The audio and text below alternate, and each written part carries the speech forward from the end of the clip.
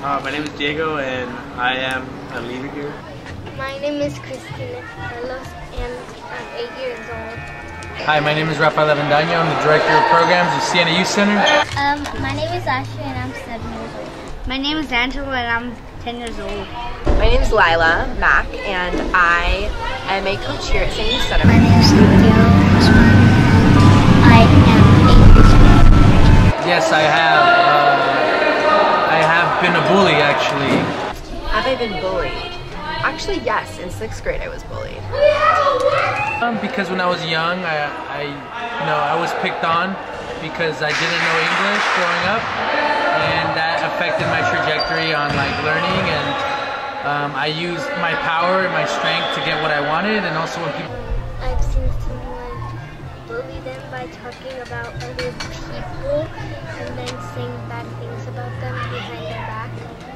I think you often become a bully if you're insecure about something, if you're jealous, um, and you take out that anger or that frustration about something going on in your life or personal anxieties you have by bullying someone. I think you can also end up becoming a bully because oftentimes it's easier to be mean than to be nice. I think people become bullies because they don't know how to express themselves. They don't know how to open up and say, you know, I got this issue going on. You know, um, I'm, I need some support. I need some mentorship.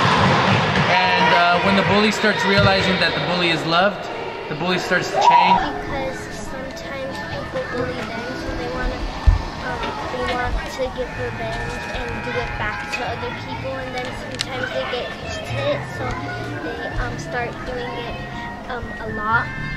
I think it's because like something happened to them and they didn't like the feeling of like vulnerability, so like they like they bully the people for power, and it makes them feel big. But It's like something that kids people do to make people feel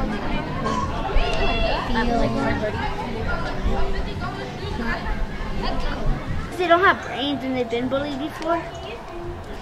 Bullying is when somebody else uses somebody's uh, uses their force to get a certain thing, either with uh, verbal, physical, or uh, emotional um, abuse uh, to get things that they want, even though they're wrong at times. Bullying is like like um hurting somebody's feeling in a way, like like they don't like it. I think it's just a word for unkindness. it's like putting people down for things that they have no control over. Bullying, I would say it's unfair um, harassment of another person um, in a way that it makes someone not, not feel good, it makes someone feel bad, and there's no reason to do that. I would I, I would get in so anytime somebody's uh like I see somebody being punked on like or like bullied on, I would like tell them to stop.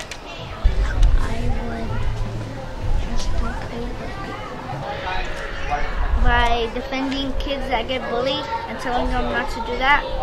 I'm telling everybody to stop and tell everybody that um, you're affecting people's lives. I would tell them to stop or ask an adult about it. I do my best to stop bullying here at Siena Youth Center by providing a safe space, um, providing a place for us to listen, learn, and respect each other. A place that there's rules um, of listening, learning, and respecting, and uh, for us to have a common language also uh, to ba- make sure that the bully understands where it is that he's coming from and why it is that he's coming from that space.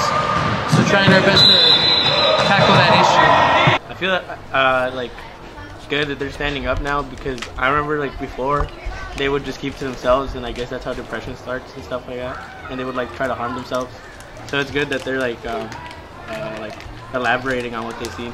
Yeah, I mean, seven out of ten kids, you know, um, have been bullied. I think it's true. I think uh, a lot of people, even now in America, bully people. Where you see our president doing that every so often, and I think it's it's uh, it's something that's very common.